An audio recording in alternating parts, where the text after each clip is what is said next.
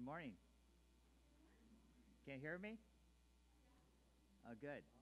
Oh, we have lights. Awesome. This week we've had some rain. Maybe this is the result of it, huh? Not having any power. Well, nice to have you here with us today. It's so nice to see. Thank you, by the way, for the music, Carol. That was beautiful. And uh, Candy, I know that you'll have some beautiful music too. Aren't you thankful for being in a church where we all love each other? How many, uh, how many of you enjoyed last week going to Lee Venden's uh, seminar? Wasn't that awesome? Aren't you glad that you, you have some, uh, the message that we have, that we have hope only in Jesus? That's all we need is just Jesus. So today we're so thankful for that. You're here to hear somebody, I think I see some visitors here today that I haven't seen for a while. And uh, thank you that you're here today. Um, today I have uh, Ron has uh, Living Faith Broadcasting. He wants to present a th- thing from that.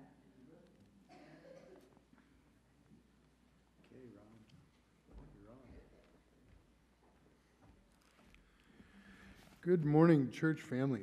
Actually, um, I want to start off with a thank you for my entire church family.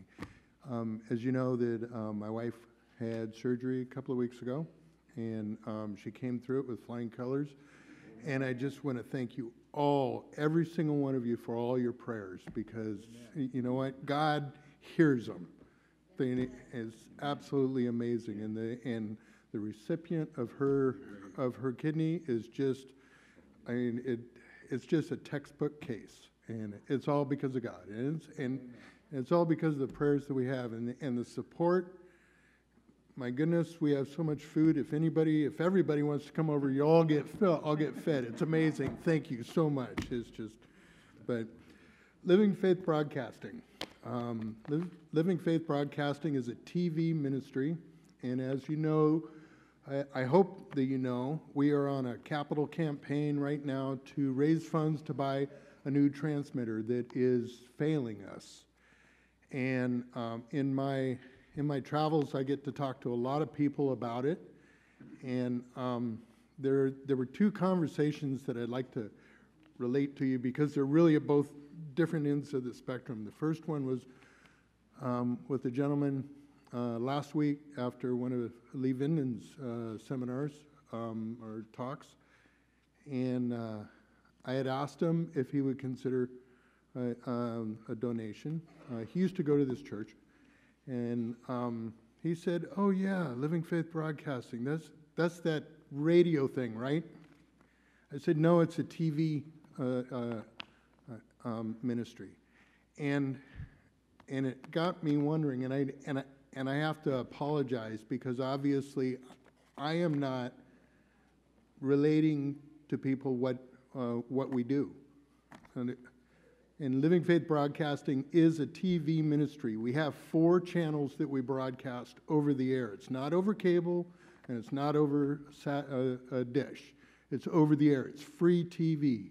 You can pick it up with any television as, as long as your house is uh, has line of sight of Mount Toro uh, which is just west of, uh, of Salinas. So all of, uh, all of West Santa Cruz, all down through Watsonville and, and uh, Salinas and down to about, uh, about Greenfield and Monterey, the whole Monterey Bay Area. We- But we broadcast te- uh, four television stations. We are a um, downlink station for uh, 3ABN.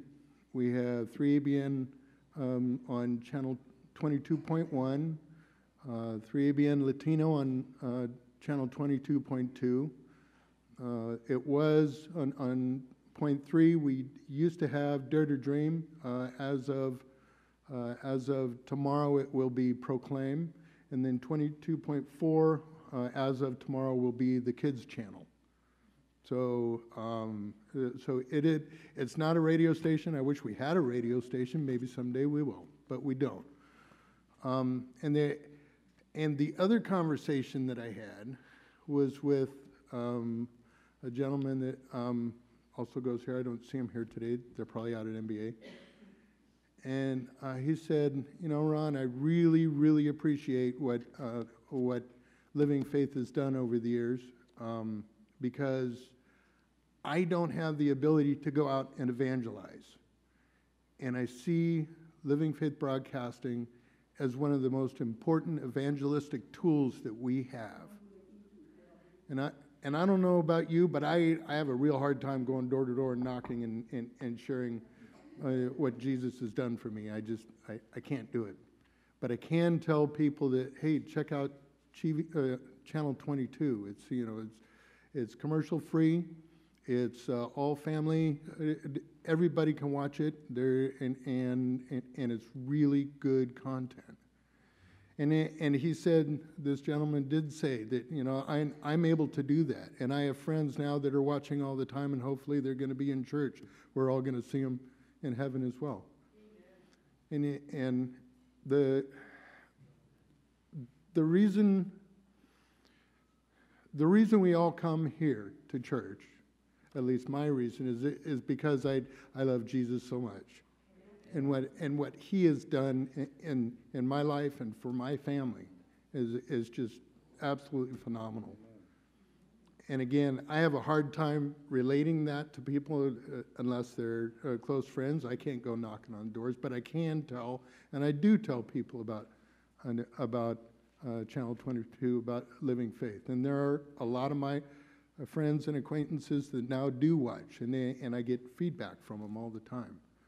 So I, I pray that as, as, as you're out there and talking to people, that you would, if it comes to mind, if the, the Holy Spirit brings to, to mind, mention uh, the, you know, it's, it's a great TV channel. It's a good, it really is good content. And if you haven't watched it, I invite you to turn, turn on uh, channel 22.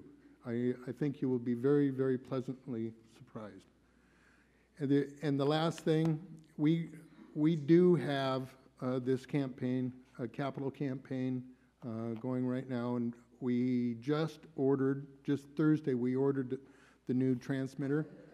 We put a down payment, and we still need about $12,000 to pay for it, 15000 with all the sundries that we're going to need to, to install it. So if the Holy Spirit does touch your heart, we really, really need uh, uh, funds to go ahead and pay for it and, and keep 3ABN and, and all their um, the, the alternative channels on, on, on the air. Thank you very much. God bless. Amen. Thank you, Ron. Also, Keith had something to say. I'm so thankful for 3ABN. I don't know about you, but I love that, um, that we have that program. Amen. I don't think I heard Ron mention it, but the, the, in the pew in front of you, there's the envelopes for 3ABN, our Living Faith Broadcasting. So if you would like to make a donation, and they have a box in the back where, where you can uh, put those donations and they receive them. One of the things I wanted to mention uh, today is talking about prayer. And think in your own mind and heart at this moment here. Can you think of someone in your life who was following God's leading and that have left it?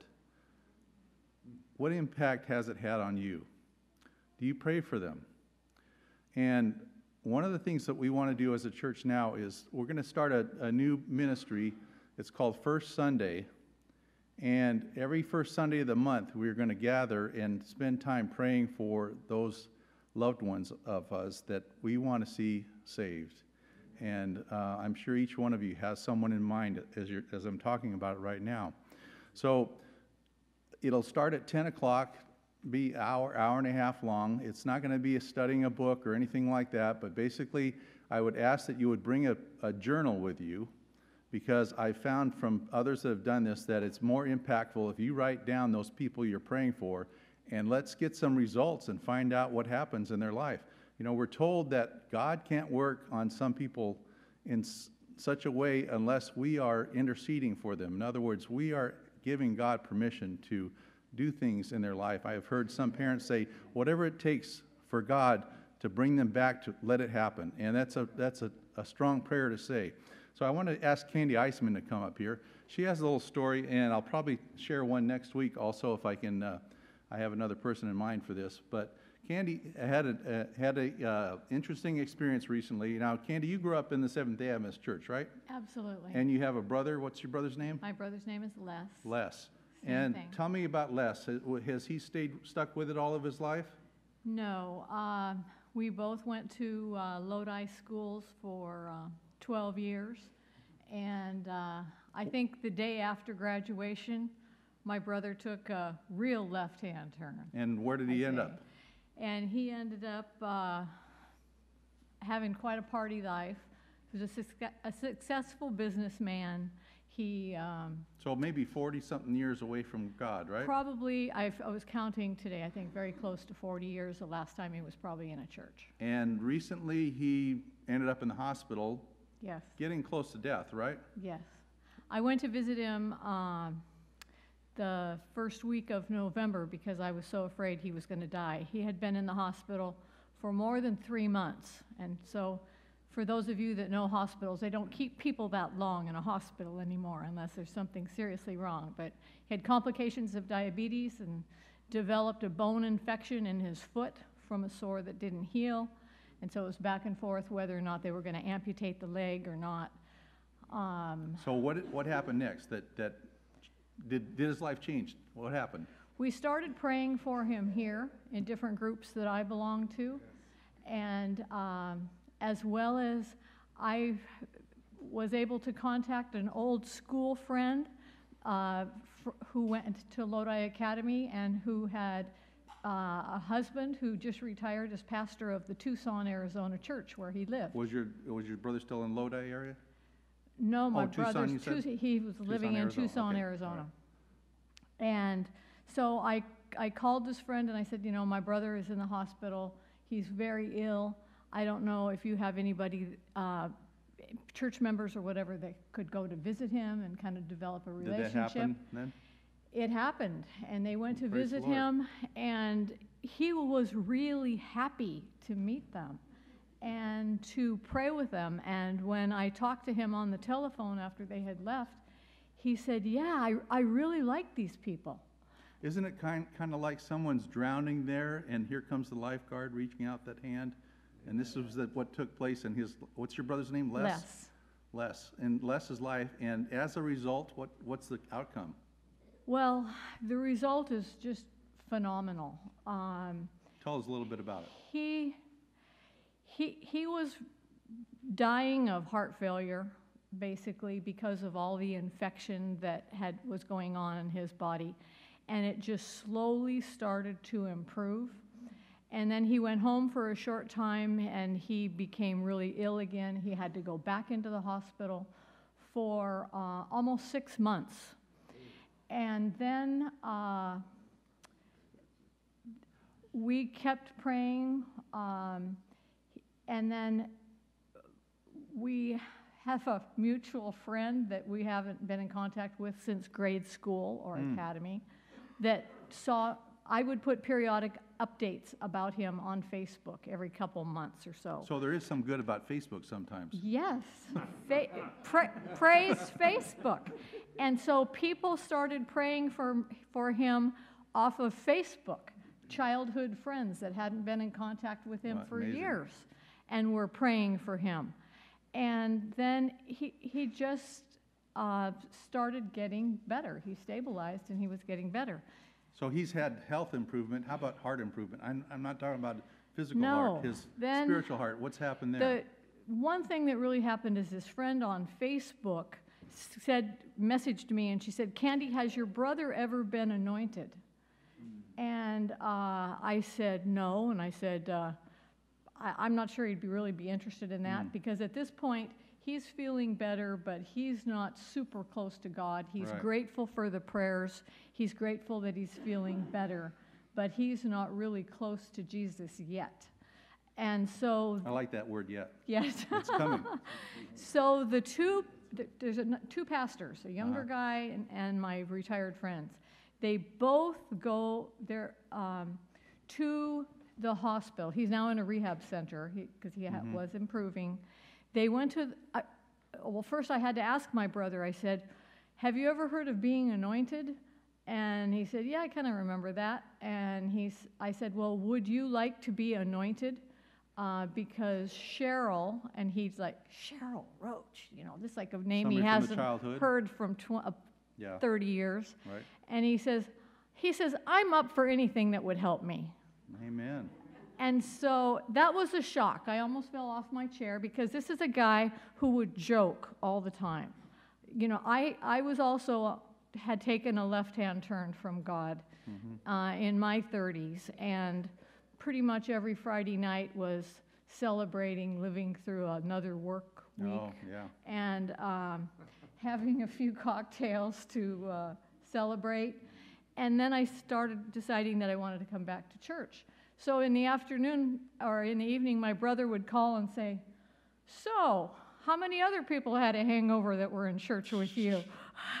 and he was like that kind of a guy, just joking. So he's, he's coming around, it sounds like. He's coming around, and we have the. Um, so he says, "Yeah, I'd be up for it." So the two pastors went to his uh, room at the rehab center and anointed him, and it was like a transformation. Within three days, he start. He has lymphedema, severe lymphedema, which is swelling, Swelling in his legs, of the legs, hips, um, and so they. Um, Within three days, that fluid started massively leaving his body. And within three months, he lost 100 pounds, Ooh, He Probably had- a lot of water weight then. mostly water weight. Yeah, yeah. And he said, I said, you know, pretty coincidental with the uh, anointing, all the prayers, and your improvement. I said, I said, it sounds like a miracle to me. And he says, I think it was a miracle. Praise the Lord. So And this happens in Les's life as a result of people praying for him. What can happen to your family members, your friends, your neighbors? One of the things, go, you got, you got Yeah. another thing to say? Well, Go ahead. it's just that I've had this work, crazy work stuff going on lately, and uh, I've had a bad day or something, so I was complaining to him for a change. And I said, you know, I really had a bad day or whatever. And before we hung up, he says, you know what? He says, I'm going to pray for you tonight. That was like, The shoe's on another foot, oh isn't it? Oh my it? gosh. I, I, you know, that's been 50 years since something like that. Oh, I, I don't know that he ever said that before. So have you grown a foot taller in this, just Oh. feeling elated? Isn't that an Yes. amazing story? I mean, And this can happen fantastic. with all of us. And it's not to bring, bring glory to us, but it's No. to bring glory to God and bring these people back into faith and our neighbors, people that don't know God. I, wa- what I want you to think about is this, and this was the thing that, I haven't started it yet, but I mentioned it to one person. How many, I don't know if you'd be embarrassed to say this, but how many of you use Facebook here? How many of you, uh, and I'm sure you have lots of friends on there, some you might not even know so well or only by name. How about if each of us, you know what personal message is, sent a personal message, maybe one at a time, to one of those friends and say, you know what, I believe in the power of prayer. Do you have anything you want me to pray for? What would it be if, if you pray for them and the thing happens that they need in their life? What, it, what an impact would it have on the people, our friends on Facebook? You know, this is just one way we can touch people, and, and just one, but it could be the beginning of something where we can reach out to people and let them know that we care about them. We don't have to preach them a sermon, but we can say, I'm going to pray for you, and I hope that my friends will also. So think about that, and then a week from tomorrow at 10 o'clock in the morning, if you should would like to come, you're welcome there. We're going to meet in Sundin Hall. Short thing, bring a, a journal that you can write in because we want to write the names in. If you have prayer requests that you want the group to pray for, go ahead and put them in our prayer box back there. I think, I, I didn't get to talk to Juan about this ahead of time, but I believe that we have Uh, uh, uh, prayer request cards or something like that that can be put in there, and we will pray for those too. Thank you. Thank you, Candy. Thank you. You know, uh, Conference Faith Advance is for MBA, our campgrounds, and for Camp Wawona. How many appreciate those three items that we have? Well, I'll tell you, I, I am so thankful for them because it made a big blessing in my life. Um, MBA, my three sons graduated from Monterey Bay Academy. And even to this day, my oldest son, who does not go to church, shows up every, every year for alumni weekend. And he has to be involved with the golf thing. And yesterday he won first place. And so I thought, wow. And this is a son who doesn't go to church, hasn't been in church for years, many years. And we found out this week he wants to send his daughters, my da- granddaughters, to uh, Camp Wawona because he had a great experience at Camp Wawona. And so he's going to send his daughters there. Now, that tells you something. There was a positive experience there at MBA, and there was a positive experience of going to Camp Wawona. How do you know the results of that? I mean, we're talking, Keith talking about praying for your family members and praying for other people. I've been praying for my son, and I never thought he would be interested in sending his daughters to one of our schools, one to camp. You see the results of what happens when you pray like you did for your, your brother? And God can bless His church. God can bless camp meeting. God, God can uh, bless uh, Camp Wawona and also MBA if we all help it out. So our offering today is for that purpose. Will the deacons please come forward for that?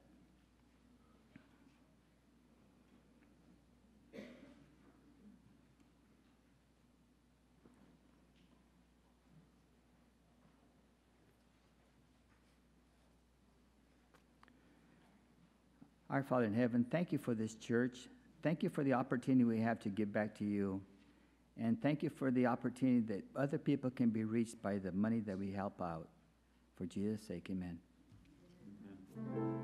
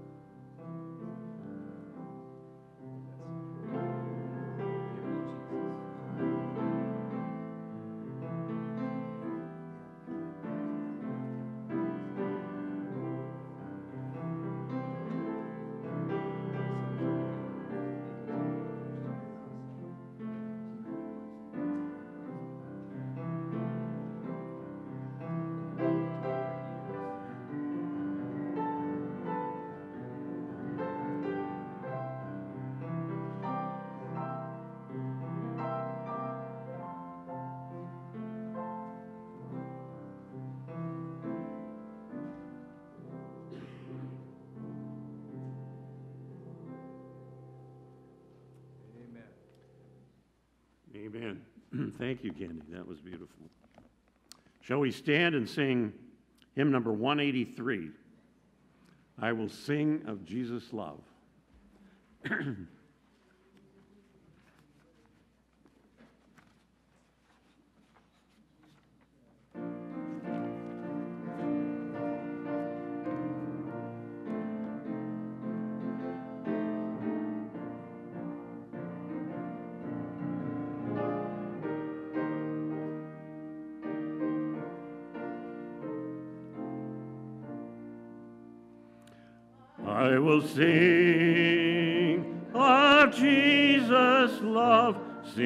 him who first loved me, for he left bright worlds above and died on Calvary.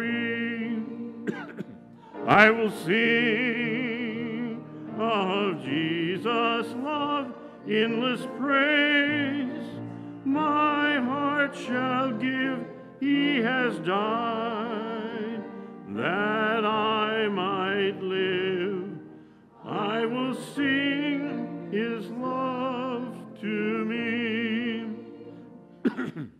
oh, the depths of love divine, earth or heaven, ne'er know, never know how the sins as dark as mine can be made as white as snow. I will sing of Jesus' love, endless praise. My heart shall give, He has died that I might live. I will sing His love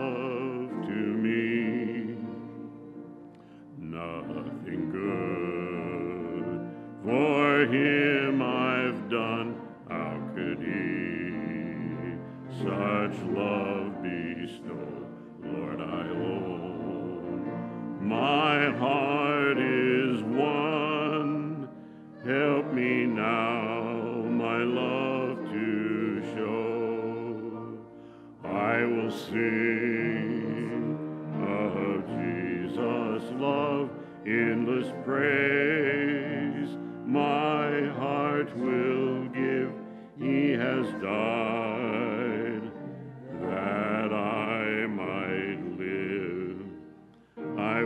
sing His love to me. Thank you, and please be seated.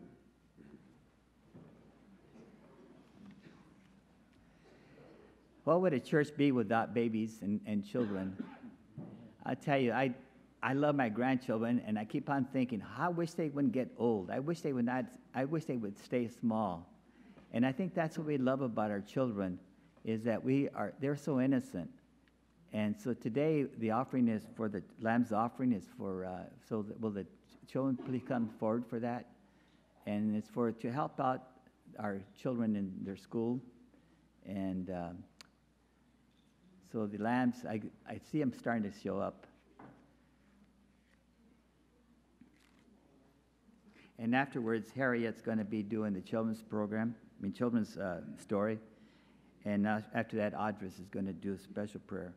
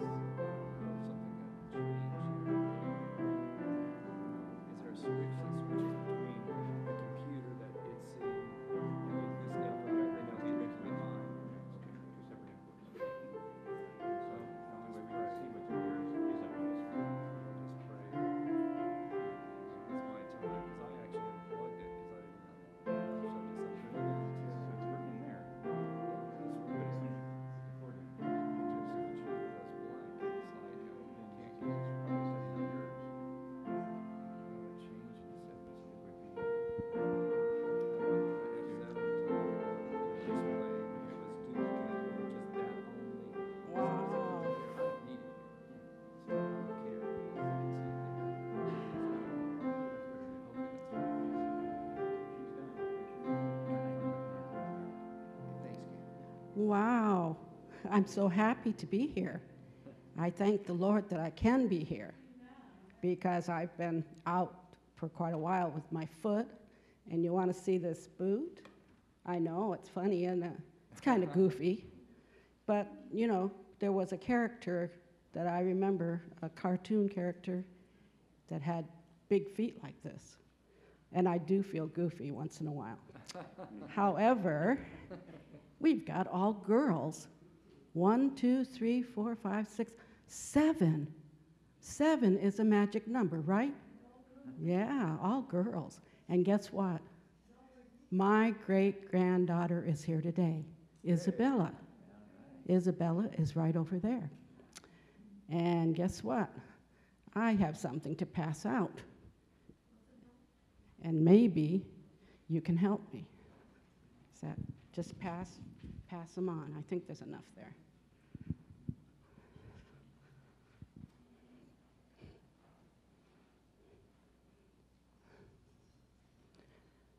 And I'm going to read a story today, and that's the story that you have right there. And uh, there's a picture on the front. And what would you call? I'll wait till everybody gets one.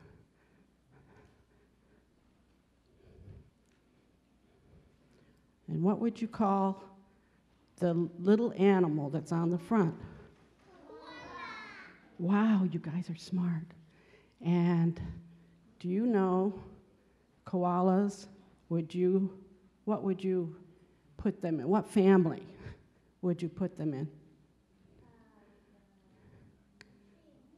A what? It's, yeah, yeah.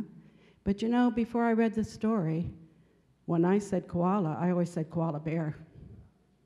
I thought they were bears, part of the bear family. But you know, they're not. They're not part of the bear family at all. but let me read you this story.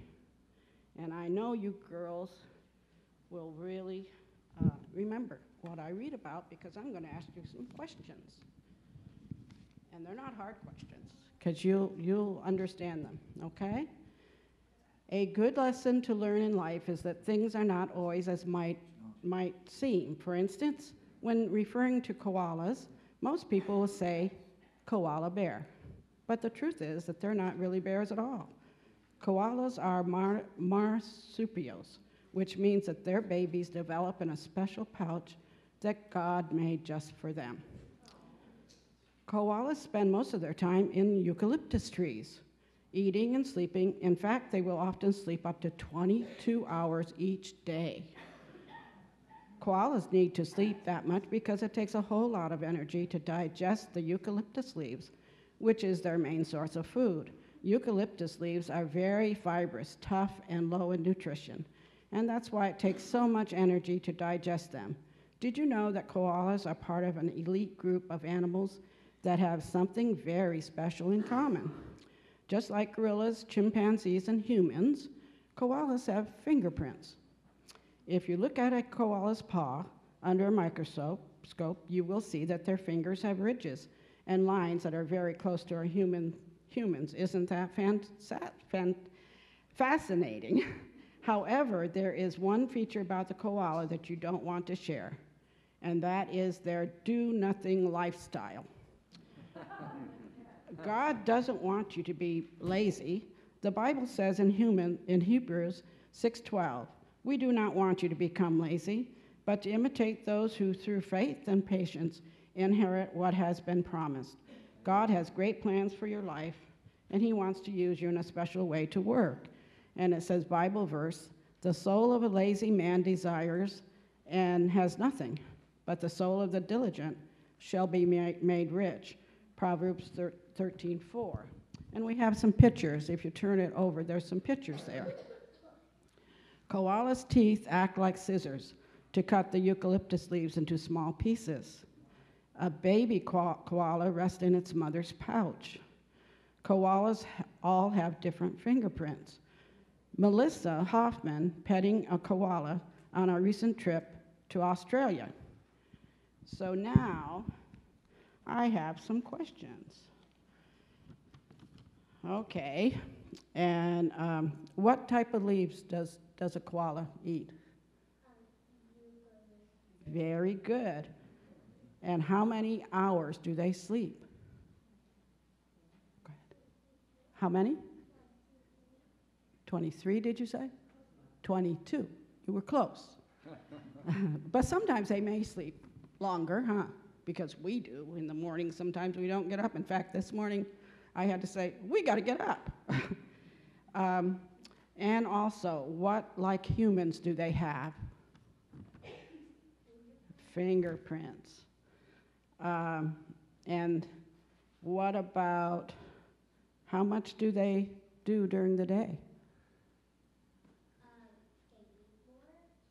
Hmm? I didn't get that. They do nothing. They're lazy. That's their lifestyle. And where, where do they originate? I mean, where's most of the koalas live? Wow, you got a lot out of this, huh? And I and and where where does Mama keep the little one? In the pouch, like a kangaroo, right? Well, you girls all did a fine job, and I was so happy that my great granddaughter is here, and I didn't even know he she was going to be here. Very surprising. So you can go back to your seats. You can keep them. In fact, if you'd like, you could have these to pass out to whoever. Oh, this, this adult back here wants one. and thank you so much.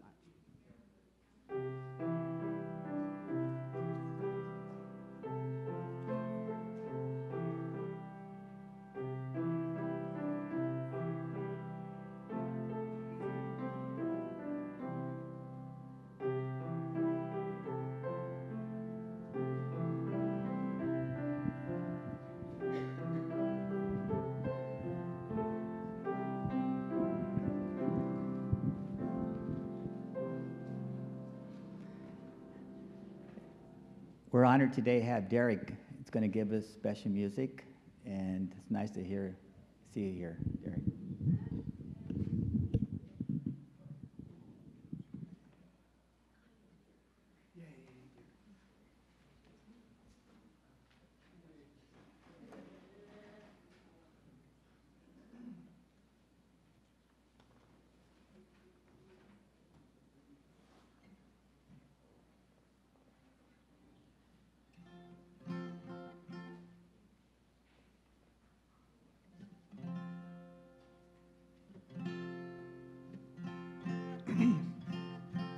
Good morning to you all. all right, why I like to test it out. This mic's a little hot.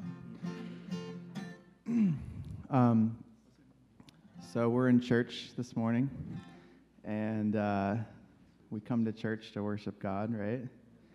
And we hope that we'll feel His Spirit here. And so that's what this song is about. So I would just ask that you put your phones away and just think about the meaning of this song. And, and if you know it, sing along and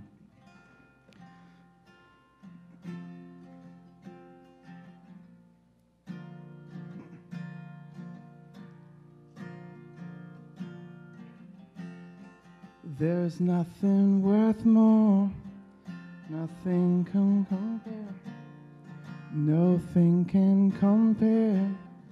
You're our living hope.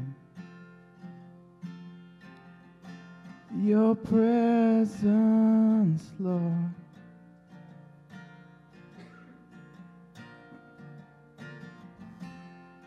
I've tasted and seen the sweetest of life, and my heart is undone, and my soul is undone.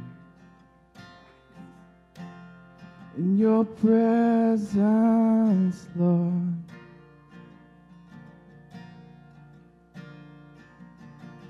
Holy Spirit, you are welcome here.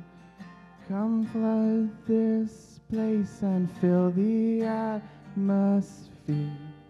Your glory, God, is what our hearts long for.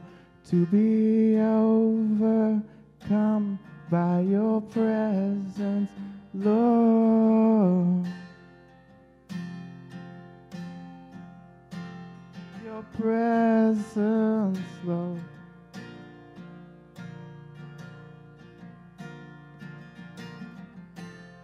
There's nothing worth more.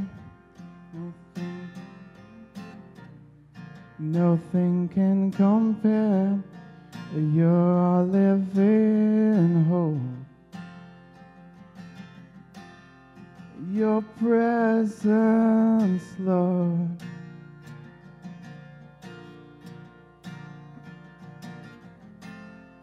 I've tasted and seen the sweetest of love when my heart becomes free and is undone.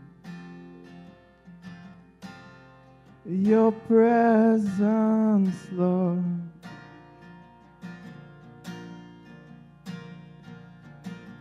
Holy Spirit, you are welcome here. Come flood this place and fill the atmosphere. Your glory, God, is what our hearts long for. To be overcome by your presence, Lord. Holy Spirit, you are welcome here. Come flood this place and fill the atmosphere. Your glory, God, is what our hearts long for. To be overcome by your presence, Lord. Your presence, Lord.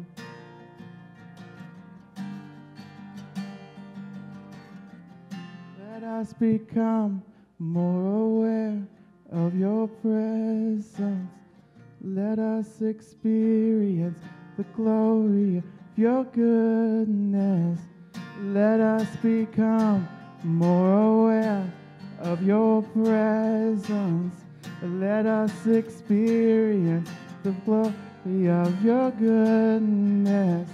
Let us become more aware of your presence. Let us experience the glory of your goodness. Oh,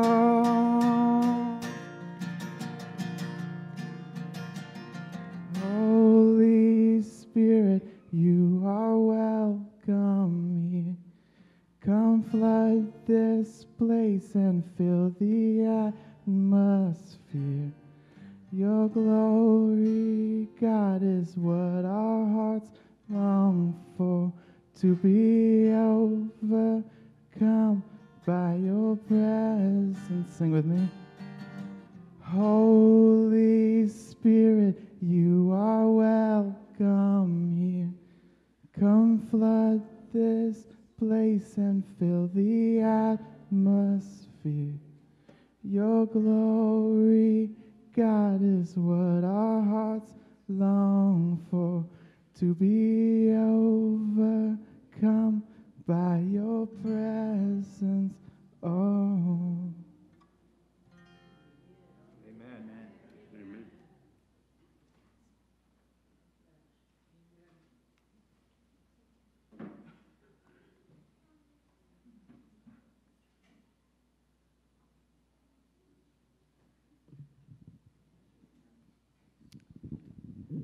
Amen. At this time, we're going to have a few moments for pray time. This is when we get an opportunity to share our hearts uh, with requests of requests that we might have for the family to be able to know about them, for us to be able to pray over them. I will walk around with the mic. hmm Good morning, Carol.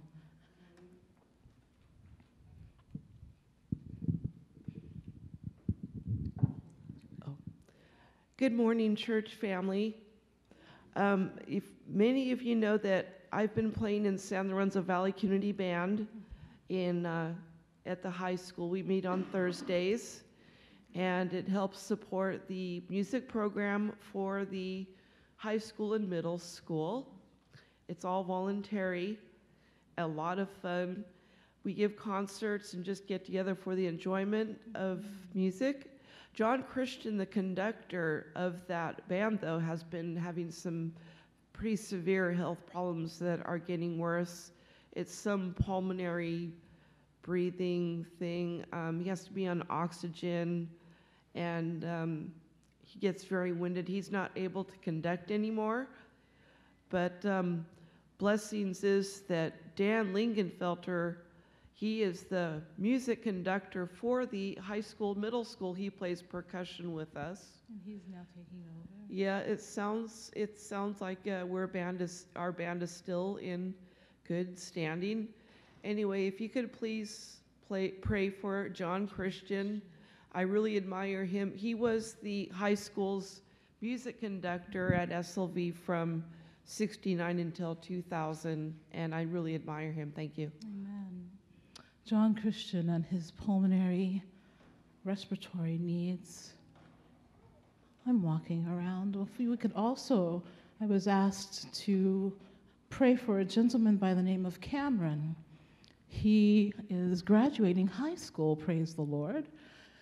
His aunt um, mentioned that he has severe Crohn's disease, so much so that he was out of school for the past six months and is now back in. So if we would keep Cameron in prayer. Yes, ma'am. That our aunt's having a baby. Your aunt is having a baby, so you would like for her to have a healthy delivery? Okay, we'll do that. Yes. I want to pray about my uncle because he has cancer. Indeed, we'll remember your uncle as well. Thank you for that. Good morning. Uh, for David Arnett, my son, he has um, mental health issues and he's really, really struggling. He's not taking his medication and he's just not in a good place. Absolutely. We'll keep him in prayer. Yes, Yvonne. Thank you for your prayers for Charles, but he still continues to need them. So thank you again, and he'll be back to church when he's able to. We will keep him in prayer. Excuse me, ma'am. I just need to step right over here. Thank you. I would like to pray for my cl- um, a, a client of mine who just had the news that he had can- cancer, and they very um, devastated with the news. And I would like to lift up his name, Dale. Dale. Dale. Dale is his name. Bates. We'll certainly remember Dale in prayer. Excuse me again. Thank you. Oh, I just wanted to pray for my mom. She turned 92 two days ago, and uh, she's fighting that head pressure, but God seems like He's um, the great physician and helping her to endure it. And I'm praying for my nephew that's trying to get off depression medicine also, and he needs prayer. Um, and I'm praying for um, my family that uh, they'll be drawn to the truth. Amen. We'll certainly remember these requests. I see you, Sela. I see you, Harriet. We'll make those the last two. I'd like to welcome all of our guests here. I see people I don't know. Glad you're here. First of all, I just want to praise God for giving me an opportunity to testify at work this week. They, someone came to me and said that they were leaving the job, and the other two people in the room panicked, and I knew they were believers, and I said, I said, we can trust God with this. And within 10 minutes, people, someone had called and said they wanted the job. So I want to praise God for filling the position before I even got a chance to worry about it. So I also just want to pray for people in our church that I know that are suffering from spiritual warfare, uh, physically, emotionally, in all form. And I want to pray a special prayer for Shauna tomorrow, the woman whose father died in Africa doing a missionary service, because it's his memorial tomorrow. And she's really um, been devastated with the loss and really feeling it in a major way. So she could use some support. Thank you. Absolutely. Indeed. And Harriet, we'll let you be the last request.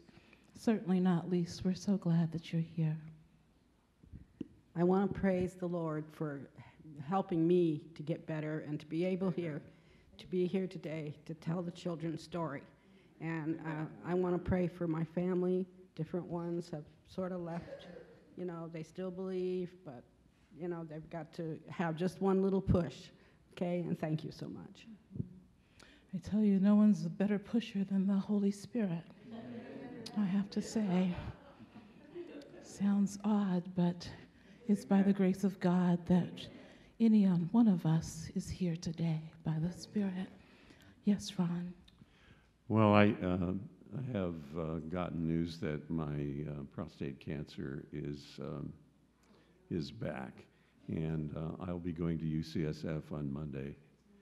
And um, time wise, I think uh, my urologist told me I have about five years at most. So uh, I ask for your prayers that UCSF may come up with some experimental treatment that may solve this problem.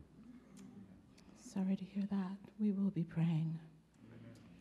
We will be praying. Are there any ones who have silent prayer requests by a show of hands? Amen. All of those who are able, please kneel as we sing our song.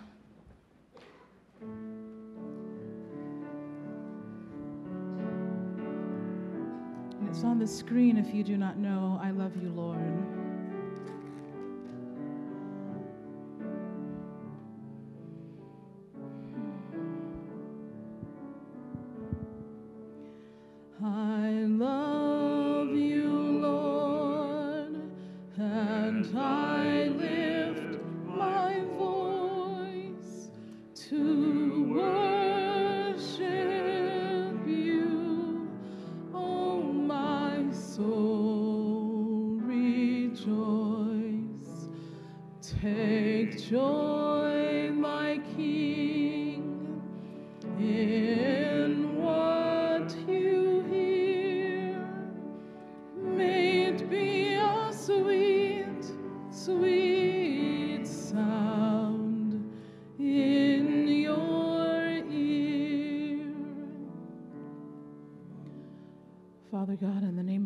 Jesus Christ, we come before you with humble hearts. Lord God, with a desire to indeed be filled with you, a desire to know you more deeply, more personally, and Father, to have an understanding of who we are in Christ, whole and healed, saved in Christ. And that because of your Son, dear Lord, that we are blessed with every heavenly blessing. God, we don't even know what that's about, but we want it. Whatever comes from heaven, we want to be all about that. Forgive us, dear God, where we have stepped away.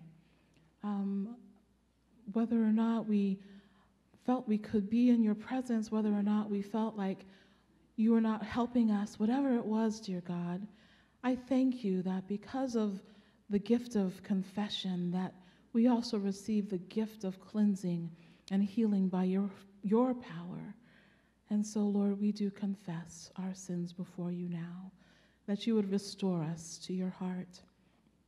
Dear Lord, you've heard the requests.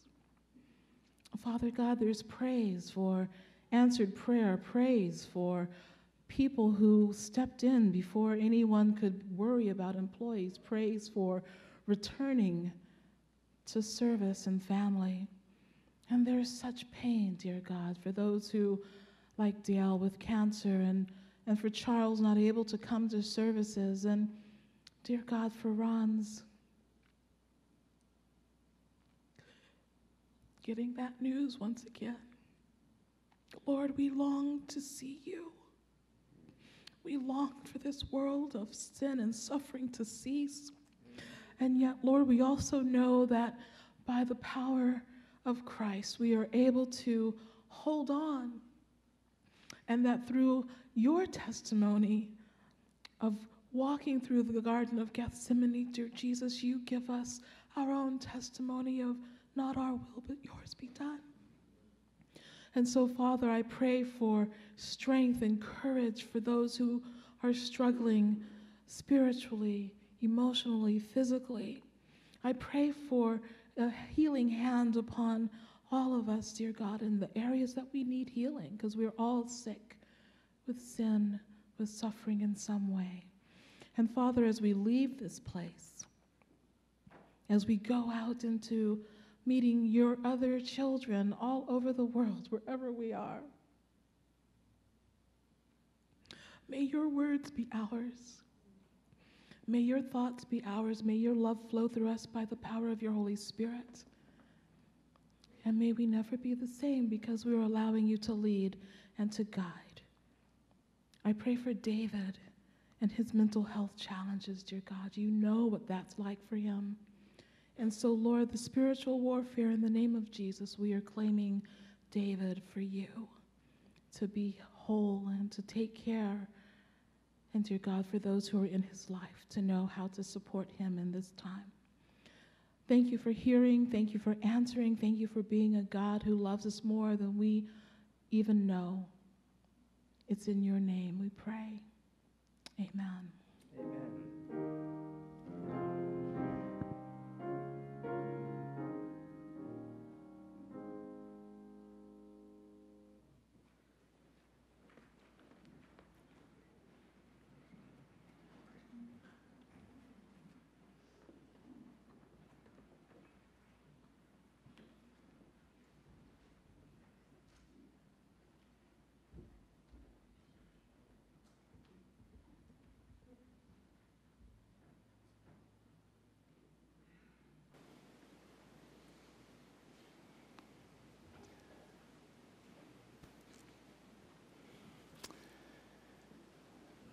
Good morning.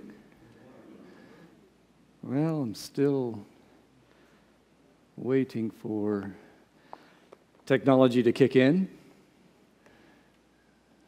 Ah, praise God. Amen. So this morning, I would have you turn in your Bibles to our scripture reading, which I have selected from Matthew chapter 25.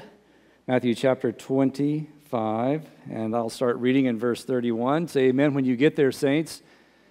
Are you, is there life in Santa Cruz this morning? Amen. amen. Hey, praise God. And, you know, when it starts getting this time of the year and it's a little warm and you've been sitting here for a while, maybe we should have everyone stand up and turn around once and sit back down. No, stand up. There you go. Just you don't have to do anything else. Stand up and turn around, and now you can sit back down. You guys look great from, from the backside, too. I just wanted to say that. Matthew chapter 25 and verse 31. Are you there, saints? Amen. Thank you very much. It says, When the Son of Man comes in his glory and all the holy angels with him, then he will sit on the throne of his glory. All the nations will be gathered before him, and he will separate them one from another as a shepherd divides his sheep from the goats. And he will set the sheep on his right hand, but the goats on the left. May God add his blessing to the reading of the word this morning. Now, you may, you may look at me and say, Well, Pastor, what has that passage of Scripture got to do with your sermon title? I'm going to I'm going to sit and watch how he tries to fix this. Okay, how, what, read with me. What is my sermon title? How to do what? How to fix your enemies. We, li- we live in a world uh, where we don't always seem to get along. I mean, maybe it's just me, but have you noticed that? Well, you're laughing. Well, come on now. This is church, and you have to be honest. How many of you have perceived that somewhere around you, at some time in your life, that you had someone who seemed to be your enemy? Come on, put your hands in the air. Just once. Okay, just, okay, only once. Hey, praise God for that. But sometimes we find out that we don't all get along. And as a matter of fact, we have many, we have enemies on many different levels. We have sometimes uh, enemies because they seem to live in some other country and our country and their country don't get along. And so we consider them to be our enemies. We have some individuals who are our enemies because, has anyone noticed uh, as the political machine and the political rhetoric has ratcheted up as we get closer to November. It seems as though people who were once friends aren't quite as close as they used to be. Have you noticed that some of these, these uh, political candidates aren't hugging up on each other? Have you noticed that at all? I mean, it's gotten so much, you know, now it's almost wise to just say, I don't support any political candidate. And you're going to have some en- enemies even if you do that, I would submit to you. But if you stand up and say, I'm for Donald Trump, I mean, do some people go, ooh, ooh, you're my enemy. I should get you. Well, sometimes our enemies are even closer to home. Sometimes our enemies are people that we work with. Has anyone ever noticed that? Have you ever noticed that people sometimes don't get along just really great in the workplace? What about in your neighborhood? Sometimes enemies are the people who live across the fence line from you. And by the way, sometimes enemies are in your own home. God forbid. God forbid. But does it happen? Yes or no? Yes, it does happen. It does happen. How to fix your enemies. You know, it's very interesting what we, how we treat our enemies. What do you do to your enemies? Well, classical thought says that you should hate them back. If they don't like you, if they see you as an enemy, then you should see them the same way.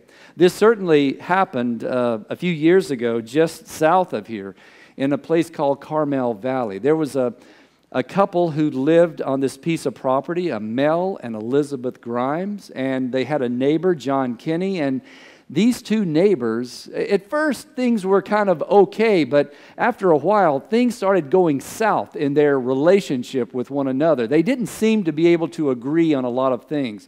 One of them, well, Mel and Elizabeth Grimes, Mel Grimes particularly, an attorney, he had a very eclectic um, sense of style, and in his home reflected that. He liked collecting odd bits of this and that and the other, from you know broken uh, uh, surfboards to old pots and.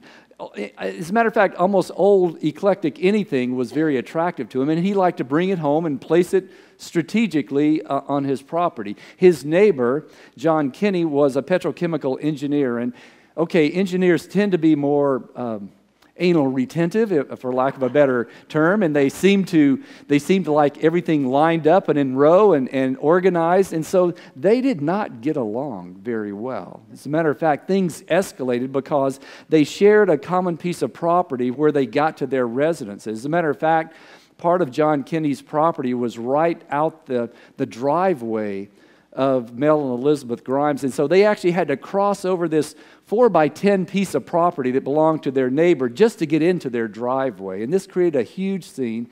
Things escalated. They, it turned from just, you know, feeling angry toward each other to actually acting it out uh, verbally. And then it, it, actually got down to some physical things as well. And then finally, in uh, January of 2007, um, Mel and Elizabeth Grimes were coming home, and, and John Kinney had consulted his attorneys who said, he said, I'm tired of them going across my piece of property. How can I, how can I keep them from, from crossing my piece of property to get into their driveway? And so his attorneys told him that he should get a big rock and just put it on his property, and that would solve the problem. So he proceeded to to purchase this more than one ton rock and have it delivered up and had it planted on his piece of property, which essentially prevented his neighbors from getting in their driveway.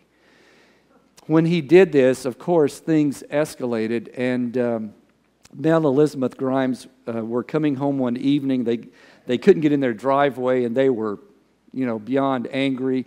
Um, Mel Grimes started uh, to take a sledgehammer and, and try to demolish this rock.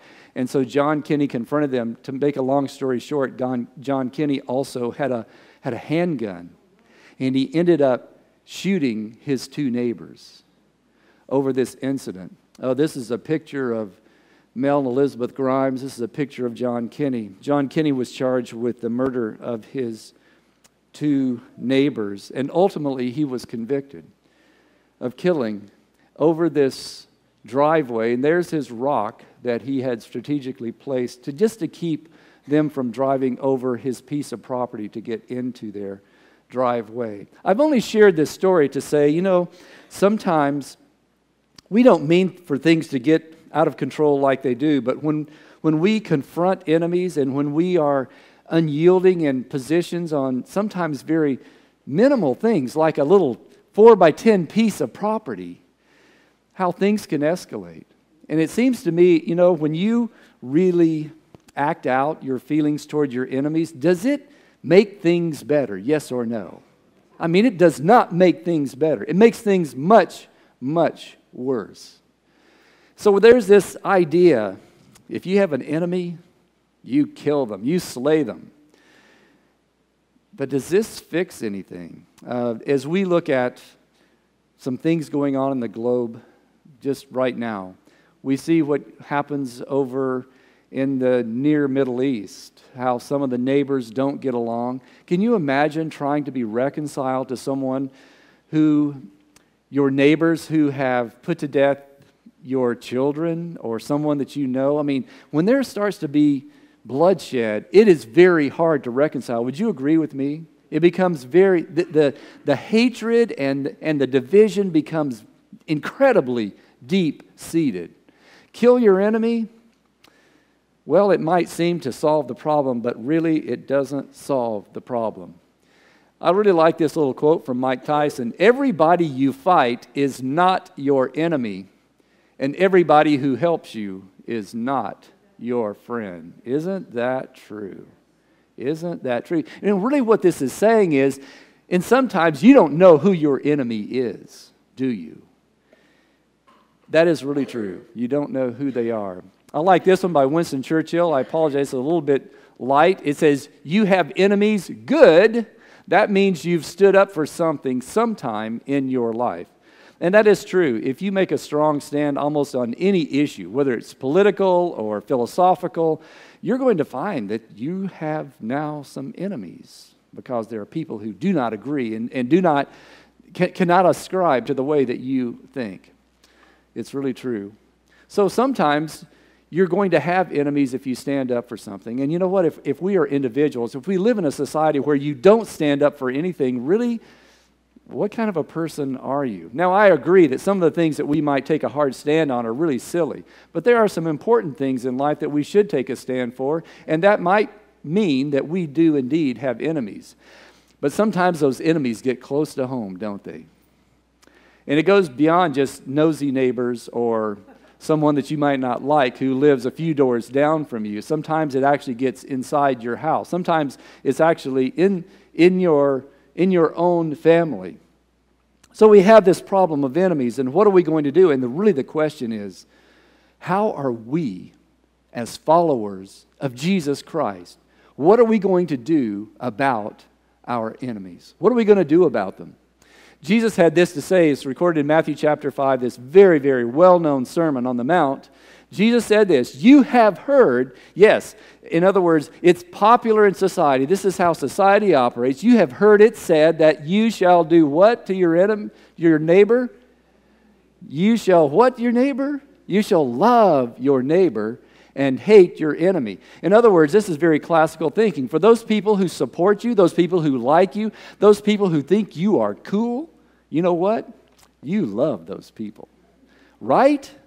It's true. It's true. You love those people that you, that you feel support from. You, you love those people who accept you as you are. Have mercy. But you love those people.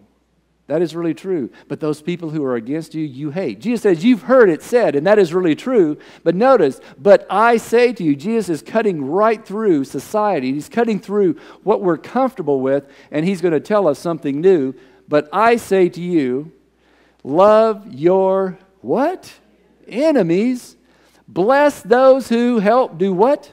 Curse you. Do good to those who what? hate you and do what?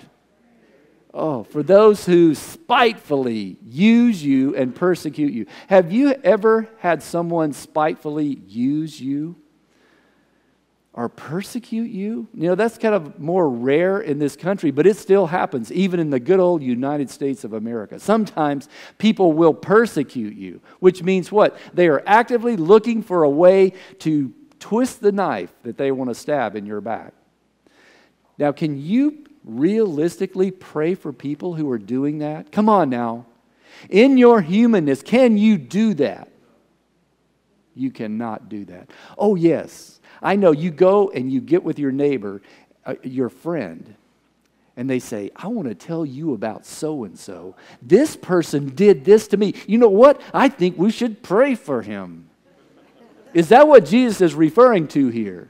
You grit your teeth and you grind out some pitiful little prayer for your enemy. Is that what Jesus is saying?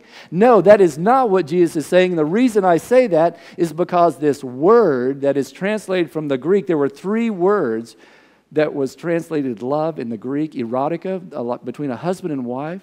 Uh, there is the phileo between family members, uh, a neighborly type, type of love. And there's another kind of love, it's called agape, which means unconditional, self sacrificing kind of love. And so, what Jesus is saying here, but I say to you, agape your enemies. Come on, Jesus. You're asking us to leap over tall buildings in a single bound.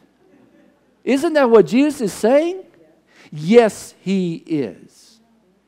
He's saying that. You've got to leap over a tall building in a single bound. Notice what Jesus said in just a few chapters later a man's enemies will be those of what?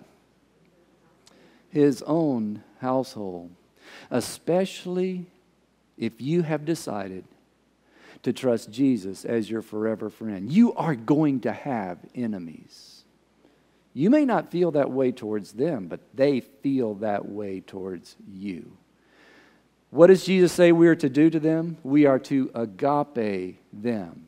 But Jesus goes on to say in Matthew 5, when he says that you shall love your enemies and pray for those people who spitefully use you, that you may be what? Jesus is saying, if you do that, you will be what? You will be the children of God, that you may be the sons of your Father in heaven. For now, Jesus says this is the reason why God is, is ask, not just asking, He's demanding it from those who follow Him because he, God the Father, makes his sun rise on the evil and on the good, and sends rain on the just and on the unjust. Can you say amen to the love that God has for? I mean, can you imagine if the rain you got in your backyard was totally dependent upon you bowing down and worshiping God and, you know, saying nice things about Him? I mean, it would really, there would be a patchwork over this city, wouldn't there? Because rain would be falling on some places, and other places it would be as dry as Nevada desert. Right? But God doesn't do that. What does God do? He causes the rain to fall on everyone because He loves everyone. Just those who love Him back? No. God sends the rain on the people who are the most rebellious against him, those who deny his existence. He sends the rain and he causes their heart to continue beating. That's the love that only can come from a God of love. And indeed, He sheds it on us every day. The fact that you are here this morning and you're breathing and you're thinking is because of the grace of God in your life. It's only by the grace of God that any of us are alive right now. Now, I want to take you to Matthew chapter 25. And I know some of you have been waiting. Okay, Pastor, how are you going to fix this? What does Matthew chapter 25 and these verses have anything to do with how you treat your enemies? Well, let's just find out. Would you take your Bibles? And I, am not putting it up on the screen. I know I'm going to make you do that awful thing. You're going to actually have to get your Bible out. And it doesn't matter if you've got it in this form or if you've got it in this form, just get them out, okay? If you got them, use them. Matthew chapter 25 and verse 31. Now I'm going to go through this quickly. I, the, the clock is not being, the clock is my enemy right now. But that's okay. I'm not going to smash it yet. Okay. Verse 31 of Matthew 25 When the Son of Man comes in his glory and all his holy angels with him, he will sit on the throne of his glory, and all the nations will be gathered before him, and he will separate them one from another as a shepherd separates his sheep from the goats. What is the context of Jesus saying this? The context of Jesus saying this is answering a question the disciples have asked Jesus, what's it going to be like just before you come back again? What's the world going to be like? And so now Jesus is answering the question. He has told three stories. He's told a story about the, the, the virgins. He's telling a, the story about a, a, a steward. He's also telling a story about um, the faithful servant and the evil servant. And so he's telling these stories to illustrate what it's going to be like. And so now Jesus is getting down to the nuts and bolts. Now, one of the things that jumps out to me in this story is this. Okay, Arnold, you, you're not allowed to give any hints on this one. I know you know the answer, brother. Does a shepherd have a hard time figuring out if what is in front of him is a sheep or a goat? Yes or no? Hey, even you non shepherds can figure that out. A sheep is so different from a goat that when one of them is standing in front of you, you don't have to sit and scratch your head. Do you, Arnold? No, you, you know it right away. And so things are going to be that obvious as to who's going to be part of God's kingdom when Jesus comes back again. It's going to be that clear. And so now it's going to be really important to say who's going to be in what side. Let's continue reading. He will set the sheep on his right hand, but the goats on his left. Verse 34. Then the king will say to those on his right hand, Come, you blessed of my father, inherit the kingdom prepared from you for you from the foundation of the world. Oop, let's stop right there. In God's mind, he has prepared paradise for us for how long? Forever in the mind of God. This was God's original plan, and by the way, nothing has changed. It's God's eternal purpose. Okay, let's continue to go forward. He said, and now here's the criteria. So these are the ones, these are the sheep his people, he's the one that he's pronouncing a blessing on, he's saying, For I was hungry and you gave me food. I was thirsty and you gave me drink. I was a stranger and you took me in. I was naked and you clothed me. I was sick and you visited me. I was in prison and you came to me. Then the righteous will answer him, saying, Lord, when did we see you hungry and feed you, or thirsty and give you drink? And when did we see you a stranger and take you in, or naked and clothe you? Or when did we see you sick or in prison and come to you? And the king will answer and say to them, Assuredly, I say to you, inasmuch as you did it to one of the least of these, my brethren, you did it to who? Jesus said. You did it to me. Hmm. Verse 41. Then he will also say to those on his left hand, Depart from me, you cursed, into the everlasting fire prepared for the devil and his angels. Ooh, I got to stop right there. Who alone was, were the fires of hell kindled? Who alone? It says, only for the devil and his angels. God never intended that one human being ever taste the fires of hell, ever. That fire has been kindled solely for the devil and his angels who refuse to come back into relationship with God. So, in God's mind, there's, there, there's no human being that had, their, had, had on their forehead, uh, good only for the fire. None, not one human being. Okay. So, verse 42 For I was hungry, and you gave me no food. I was thirsty, and you gave me no drink. I was stranger, and you did not take me in. Naked, and you did not clothe me. Sick and in prison, and you did not visit me. Then they also will answer him, saying, Lord, when did we see you hungry, or thirsty, or stranger, or naked, or sick, or in prison, and did not minister to you? Then he will answer them, saying, Assuredly I say to you, Inasmuch as you did not do it to one of the least of these, you did not do it to me. And these will go away into everlasting punishment, not punishing. Don't miss that fact. Punishment. And the wages of sin is what? Death. Thank you. But the righteous into what? Eternal life. You know, there's something that really strikes me about what Jesus said here. And this is what really, really strikes me. the righteous, the one that Jesus has pronounced a blessing on, seems to have done some things that they're not even aware they did. Where did that come from? And by the way, did you notice the wicked? They seem not to have done something. They thought they did, but Jesus said they didn't do it. Wow.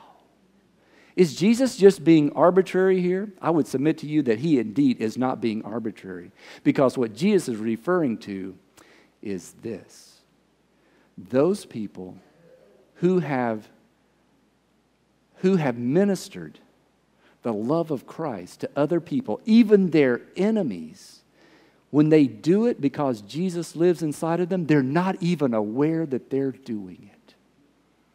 And the people who are mechanically going through the motions to try and help other people, hoping to get God's notice, are only doing it because they can appear to be good people. Jesus is seeing right through it and he's saying, No deal.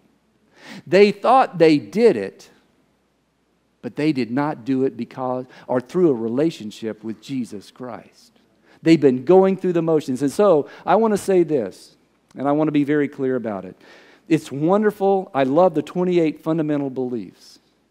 They provide a beautiful framework, as my good brother, Uncle Fred, points to. Thank you, Uncle Fred. But in the center of this picture, the framework is the 28 fundamentals. There's this picture of Jesus Christ. And everything that, that matters in life and in death is that you know Jesus as your friend and that he lives inside of you. And so here we can go back and we can look again at what Jesus said. Now we're going to look at a couple of other verses. Who are your enemies? Oh. If someone says, I love God, and does what? Hates his who? His brother, he is a what? Last time I checked, liars are not going to make it into heaven. Yes or no? Yes or no? I mean, help me out, Bible scholars. Are liars going to go to heaven? No, they are not. Praise God that reformed liars are going to go to heaven, or I would never make it. Can you say amen to that? Amen.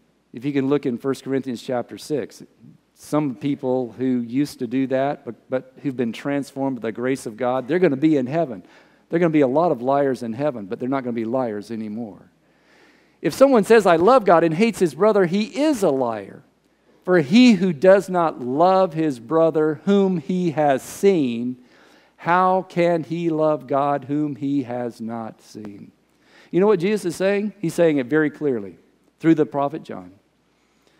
The only way that you and I can love our brother, our sisters, people in church, people in our family, people across the back fence where we live, people who we work with, people who are of a different political ideology, people who come from some foreign land, the only way we can truly love other people is if Jesus is inside of us. Because you know what? Your love and my love is broken, it's messed up, it is, it is a, a filthy rags kind of a love on our best day. The truth is, you cannot love those who persecute you. You cannot do it, and neither can I. But you know what? Jesus can. And if I invite Jesus to live inside me, his love will love those around me. And that is going to be the proof in the pudding when Jesus comes back. It's not going to be, were you a good church member? Oh, yes, it, there's nothing wrong with being a church member. I'm so glad you're here this morning and that we can, we can talk about these things. We can reason together. I'm so thankful that we have the doctrines that we have been clearly shown in Scripture, but they only have their proper context in a loving relationship with Jesus Christ. And if Jesus isn't in the middle of all of that, then all you are is a good Pharisee. I'll see you next Sabbath, good Pharisee? No. What did Jesus say to those people? I mean, he had some of the most scathing rebukes recorded in Scripture against those religious leaders who hung on to doctrine but rejected him as their Messiah. And today, really, the, The only thing that you and I can stand on is a loving relationship with Jesus Christ, where we have invited him to be Lord of all. Because if Jesus isn't Lord of all, he's not Lord at all. You and I need Jesus so that we can do what he asks us to do. You know, sometimes you have enemies, though. You've seen that between, you know, sometimes you just have it almost inbred in you not to like certain people. You know, I want to say that too. There are some people, I, am saying what I, I love people, but there are some people that I find more challenging to like. And I'm sure if you're being honest with yourself, that you can say there are some people that I find more challenging to like. How are we going to love one another? The truth is, you and I cannot do it, but only God can do it through us. Notice what Jesus goes on to say if you love those who love you, what reward have you? Don't even the tax collectors do the same? They were looked down on as lowlifes in his society. He said, even the tax collectors, which are considered lowlifes, they like the people who like them. And he says, and if you greet your brethren only, what do you do more than others? There's one thing cool about riding a motorcycle. Don't judge me now. There's one thing cool about most of the time when you're riding a motorcycle and you pass another motorcyclist, you wave to each other because there's a sense of community. There's a sense of, of, of, of sharing a, a, a, an experience. Okay, if you don't ride a motorcycle, that's not a problem. Just, just don't try to run over the next motorcycle you see. But my point is this there are people. There are people that we feel good about waving to, and there are other people. Oh, there's so and so. Put your hand down. Don't wave to that person. I've even noticed that within Adventist communities. You know what? Only the love of Christ can change that. Only the love of Christ can change that. We need to admit to Jesus that we're incapable of loving other people. He's been waiting for us to see that so that we can depend on His love and not our own. Therefore, notice what notice this. Therefore Jesus says, therefore you shall be what? Jesus is asking you and me to leap over tall buildings with a single leap. You know what? The truth is, you can't do it, and neither can I. But Jesus can. Jesus can. We need to invite the God of love to live inside of us. And then we can love others as he has loved us. So Paul says in Romans, repay. If once we invite Jesus inside, this is to be our mantra, our, our our target. Repay no one evil for evil. Have regard for good things in the sight of how many men? All men. If it is possible, as much as it depends on you, I mean, there's some people who are, gonna, who are not going to respond, even to the best love that God can love them with. But as much as it depends on you, do what? Live peaceably with how many men? All men. Beloved, do not avenge yourselves, but rather give place to wrath, for it is written, Vengeance is who? Who alone can give vengeance? Only God. I will repay, says the Lord. And now I love this, what Paul says. Therefore, if your enemy is what? Does this fit exactly with what Jesus said in Matthew chapter 5? Yes or no? Yes, it does. If your enemy is hungry, do what? Feed him. If he's thirsty, give him a what? A drink. Oh, and I love this. If you want to fix your enemies, do this. For in doing so, you will heap coals of fire on his head. Burning coals, anyone? Are there a few people you'd like to ship out some burning coals to? This is how you do it. You, you hit them. You kill your enemies with the kindness of Jesus Christ you send the Holy Spirit, which is representative of those coals of fire that came on Pentecost, you send the Holy Spirit onto their heads and you mess with them. You know, my granddad once told me, he says, you know, if you really have an enemy and you want to get even with them, he said, don't kill them. He said, just break their ribs and turn them loose. He'll be miserable forever. I'm saying this, don't do that. You send the Holy Spirit to, to break the ribs of anger and, and, and contention inside of them and they will, they will be eternally, they will be eternally blessed by your getting, getting even with them. They'll, they'll be eternally grateful for you fixing them. You just got to fix them in the only way that works, and it's the love of Christ. That is the only thing that will work. Martin Luther King Jr. said this love is the only thing that can turn an enemy into a friend. Where did he get that idea? He got that idea from Scripture because he was a, he was a fundamental Christian in the very true sense of the word. How are you going to fix your enemies? You just shower them with the love of Christ. But make sure it's the love of Christ because your love is a, a pitiful sodium saccharin chemical that, fill, that, that fools the brain, but it's not really sweet. You give them the sweet, the sweet love of Jesus that can only come from a Jesus who lives inside of you. And that is how you can fix your enemies. But I say unto you, love your enemies, bless them that curse you, do good to them that hate you, and pray for them which spitefully use you and persecute you. And we say, Amen, Jesus, you do it because I can't do it. And He will do that through you. And that's my prayer for you in Jesus' name. Amen.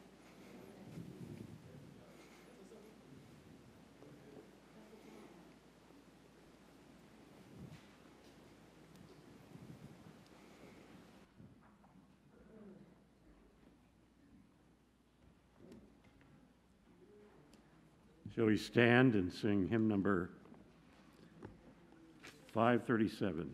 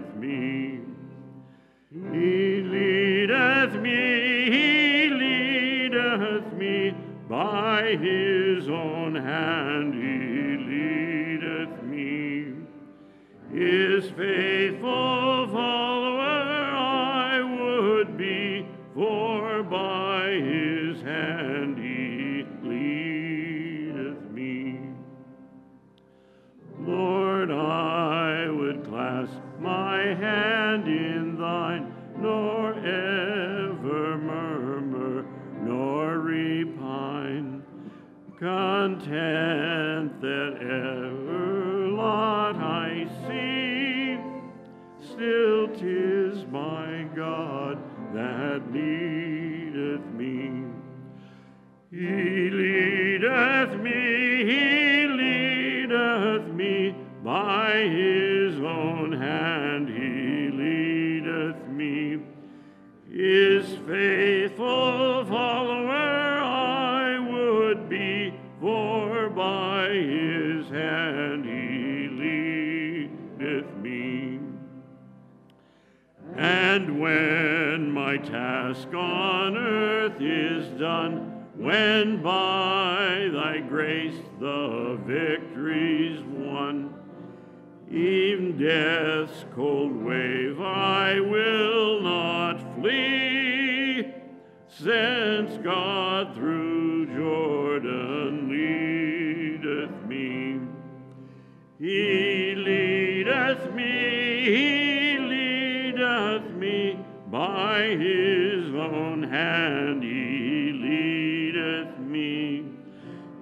His faithful follower I would be, for by his hand he leadeth me.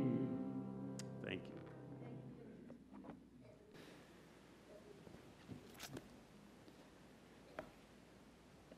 Father in heaven, Lord, we need you every hour. We need you right now, more than we have ever needed you before. Lord, the standard, the standard of love that you are looking for is so much higher than, than we can even grasp. Lord, it can only be a miracle for anyone to attain that. But Lord, the miracle is Jesus Christ. And when we invite Jesus, the miracle happens in us. We become so attached to Jesus that we're not even aware when we're just handing out the love of God to people around us. It just comes naturally. And Lord, for us to kid ourselves, to be self deceived into thinking that somehow we can fake this, Lord, the only person that's being deceived is ourselves. Lord, take away our filthy rags kind of love. And Lord, we're inviting Jesus to come into our hearts right now and to love others through us so that the love that we have for you, even the love for you and the love for our fellow man, will be Jesus, pure, unadulterated, agape love. And Lord, you long to do that in us. Lord, may we allow you to do just that. And we thank you because you will complete the work you have begun in each one of us until Jesus comes. And we thank you in Jesus' name. Amen.